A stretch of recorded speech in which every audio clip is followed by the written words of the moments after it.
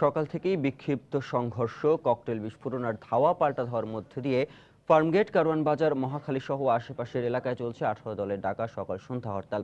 সকালে মহাখালীর ব্রাক বিশ্ববিদ্যালয়ের সামনে পিকেটাররা কয়েকটি গাড়ি ভাঙচুর করে। আরও জানাচ্ছেন আমাদের রিপোর্টার রামিম হাসান।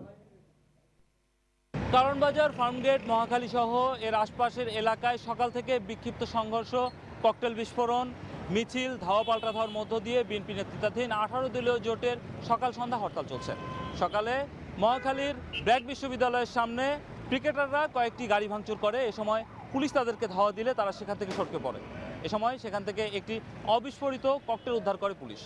অন্যদিকে নিকেতন এলাকায় বেসরকারি বিশ্ববিদ্যালয় ছাত্র দলের ব্যানারে একটি মিছিল বের করা হয়।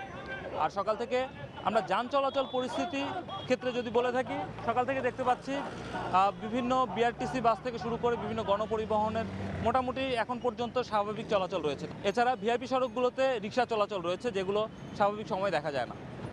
কারণ বাজার থেকে রামিম হাসান, সময় সংবাদ, ঢাকা।